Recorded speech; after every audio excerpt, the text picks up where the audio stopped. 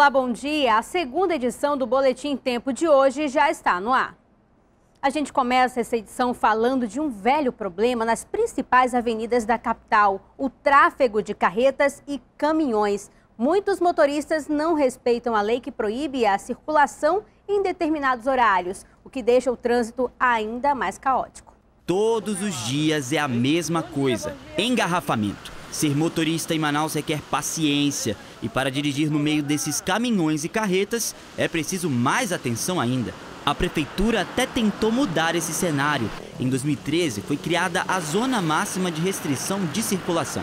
Funciona assim: são dois grupos segmentados pelo peso bruto total, acima de 8 ou 16 toneladas. A medida proíbe que veículos com mais de 8 toneladas circulem em horários de pico nas principais avenidas da capital. Apesar do trabalho de reeducação feito pelo Manaus Trans, muitos motoristas de caminhões e carretas ainda teimam em circular em áreas que não são permitidas.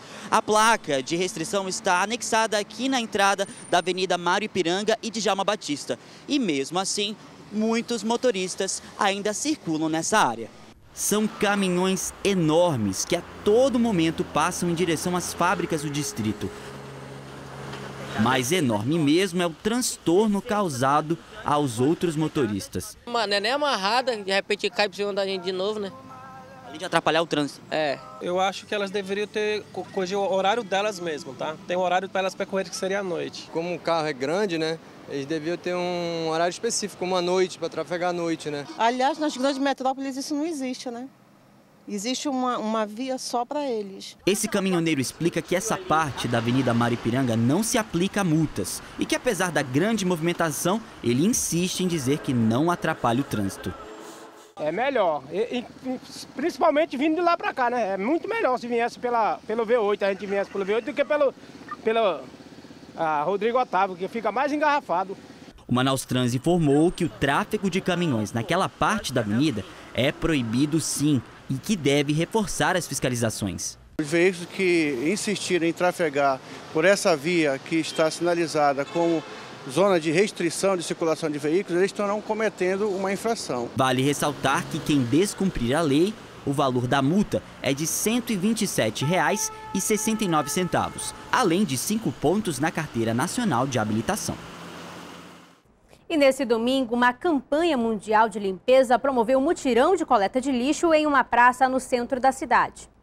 Durante o trabalho, 60 voluntários fizeram a limpeza da Praça Paulo Jacó, no centro. O objetivo era recolher todo o lixo jogado no local, que depois iria parar nos rios da cidade. A nossa cidade ela é, ela é cercada por igarapés e nós sabemos que isso traz uma série de consequências para a saúde das pessoas e também para a aparência da cidade. Né? Então nós temos uma preocupação ambiental de cuidar. Esta voluntária veio da Coreia do Sul. Muitas pessoas estão jogando lixo e está destruindo a natureza.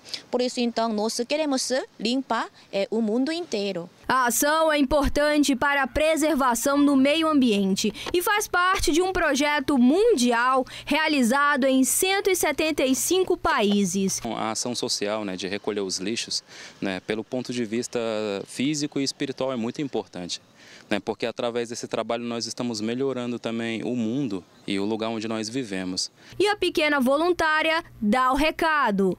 Não pode sacar isso do rio.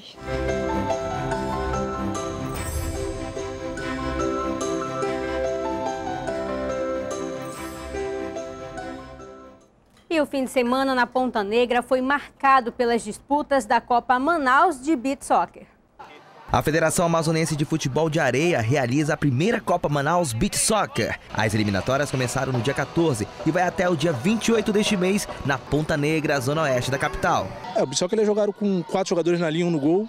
É um jogo muito rápido, no mesmo formato do, futsal, porém num piso diferente, né? Torna-se um pouco mais difícil a corrida, a dinâmica do jogo é maior. E é um esporte gostoso de se praticar, né? E tem tudo a ver com com a Amazônia. Né? Quase 40 graus na capital amazonense e a areia fervendo.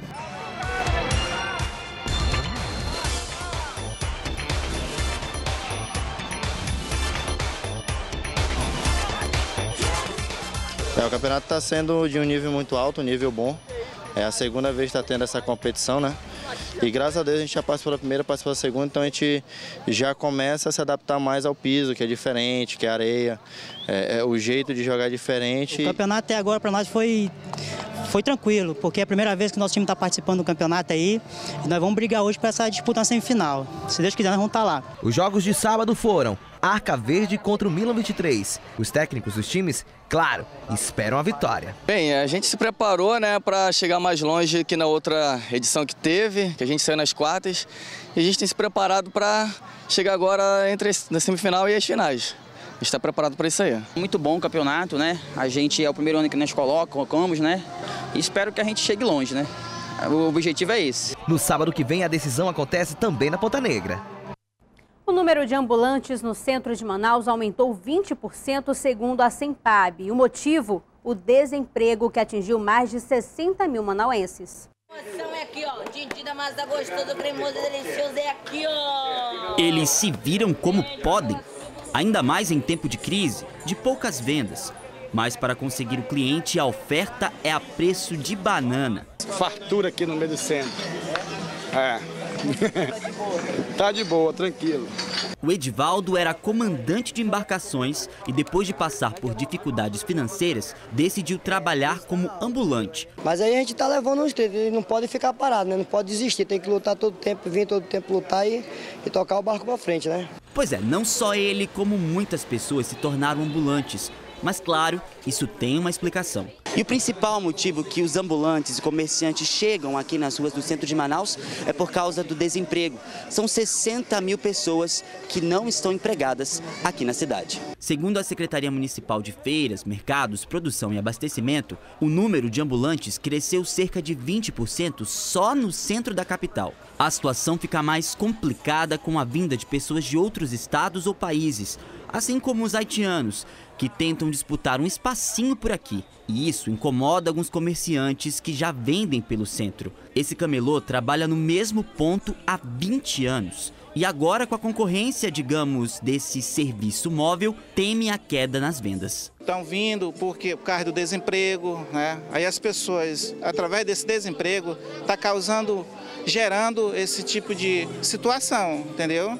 Os outros que vêm, é, inclusive tem estrangeiros, a gente não tem como concordar com a presença deles ali. Foi feito um acordo com os históricos, a gente sabe disso, mas tem outros lugares onde eles podem vender as mercadorias deles, enfim, que não o centro da cidade. Apesar do trabalho honesto, para ser ambulante é preciso de autorização da Sempab. Até porque existem barracas, como aquelas que vendem verduras, por exemplo, que necessitam de fiscalização, pois produtos inadequados podem ser perigosos para a saúde dos clientes. Por isso, a prefeitura deve reforçar a vigilância aqui no centro da capital nos próximos dias.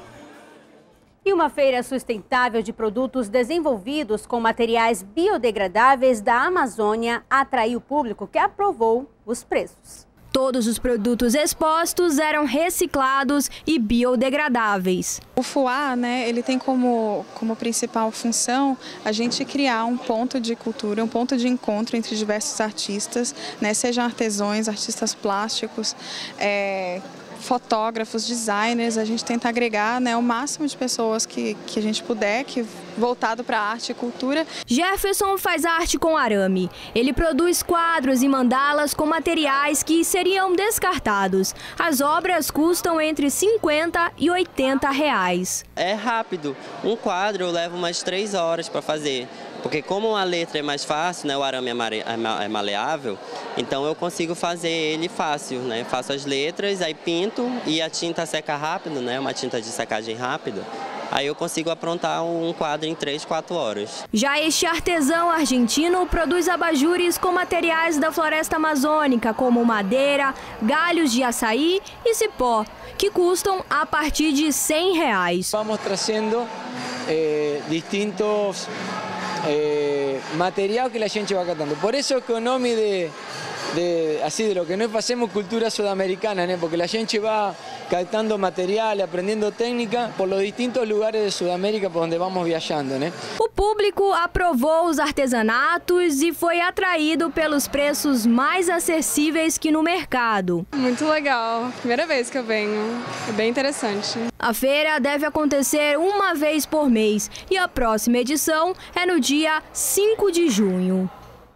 A segunda edição do Boletim Tempo Manhã termina aqui. Eu espero você amanhã.